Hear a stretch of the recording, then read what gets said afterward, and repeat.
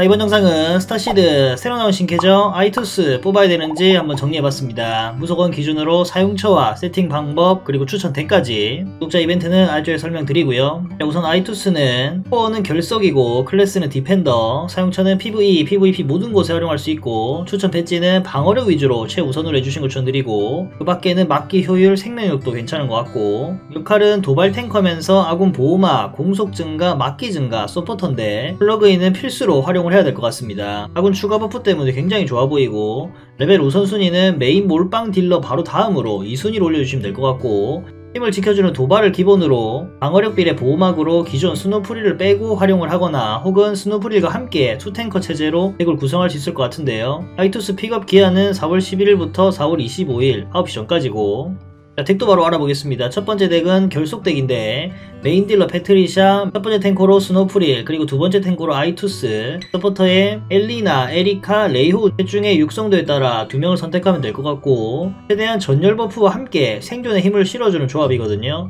배치도 전열의 힘을 실었고 스노프릴, 아이투스, 패트리샤, 에리카, 엘리나 일단 이런 느낌으로 다음 두 번째 추천덱 역시 열속이고요. 메인 딜러의 패트리샤, 탱커의 아이투스 놓고 서포터를 많이 넣는 건데 첫 번째, 두 번째 서포터는 유리지아 에리카 고정으로 하고 나머지 엘리나, 레이오, 샤레 중에 하나를 선택해서 구성하시는 게 좋을 것 같고 패트리샤도 서브 탱킹으로 앞쪽에 놔두기 때문에 탱커보다는 서포터가 하나 더 많기 때문에 딜 고점이 조금 더 높을 수 있고요. 생존이 좀 관건이긴 하죠.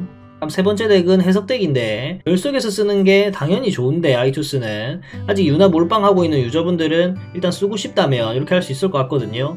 메인 딜러의 유나, 탱커의 아이투스, 서포터의 유리지아 레이오 무조건 들고 가고 나머지 서포터의 헬렌 혹은 베르베타로 해서 배치는 이런 느낌으로 그래서 아이투스 뽑아야 될까요? 뽑는다면 승급 어디까지 레벨은 몇 정도 올려야 될까요? 명함만 뽑더라도 레벨 동기화를 이용해서 활용이 가능한데 레벨 우선순위가 메인 딜러 다음이긴 하거든요 소과금 기준으로 최소 명함에서 MR 정도까지 추천을 드리고 중과금 이상은 LR까지도 추천드리는데 마일리 상점도 같이 활용해서 어느 정도 올려주시고 레벨은 메인 딜러보다 30레벨 정도 낮게끔 세팅해주시면 나쁘지 않을 것 같습니다. 그럼 두 번째 질문으로 아이투스 보니까 탱이 안되고 녹는 것 같던데 생존 어떻게 올리죠? 본탱으로 혼자 탱을 하니까 스킬을 못쓰고 죽는 경우가 종종 있고요. 기존에 쓰던 스노프릴과 함께 dog fight 활용해서 탱커를 이용하니까 생존이 좀 나쁘지 않았습니다. 추가로 서포터들의 상향으로 탱커의 탱도 조금씩 좋아지곤 있죠. 다음 질문으로 플러그인 전무가 없는데 쓰기 힘든가요? 스킬 해보면 아시겠지만 쉽지 않을 것 같긴 합니다. 아군 막기 확률 증가에 공속 증가를 부여할 수 있기 때문에 착용하는 게 완전체인 것 같긴 해요.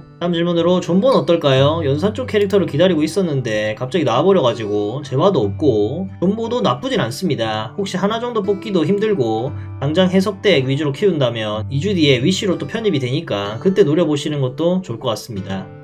네, 그리고 추가 업데이트 및 이벤트 안내해드리면 아이투스 승급 지원 이벤트 4월 11일부터 4월 25일 9시 전까지 그냥 기존에 했던 패트리샤 승급 이벤트랑 거의 비슷하다고 보시면 됩니다. 등급 달성에 따라서 모집권도 주고 그다음 플러그인까지도 주니까 여유가 되신 분들은 요거 보시고 뽑으시면 좋을 것 같고 그리고 LR1부터 LR5까지도 스타비트 이렇게 또 보상받을 수 있으니까 중과금 이상 분들은 확인하시면 될 것 같고 그리고 아이투스 출시 기념 로그인 이벤트. 1일차부터 7일차까지 스타비트 200개씩. 아 좀 짜죠. 요거 주고. 그리고 아이투스 이벤트 스토리. Underwater Paradise 뭐 기존에 했던 유리지아랑 비슷하다고 보시면 되거든요. 스테이지 깨고 재화 받아서 작전 보상 위주로 1회 우선으로 교환해 주시고 필요에 따라서 모집권, 뽑기권으로 교환하는 걸 추천드리고요. 아 그리고 기존의 픽업이었던 유리지아가 이번에 wish 포인트로 들어왔습니다. 픽업이 끝나고 그 다음 신규 캐릭터가 나오면 이게 wish로 편입이 되는 것 같거든요 하지만 마일리지 상점이라든지 선별에서는 아직 안 나오니까 이건 아마 나중에 나올 것 같아서 어, 확인하시면 좋을 것 같습니다. 일반 뽑기 하실 때 어, 유리지아 무조건 넣어야겠죠.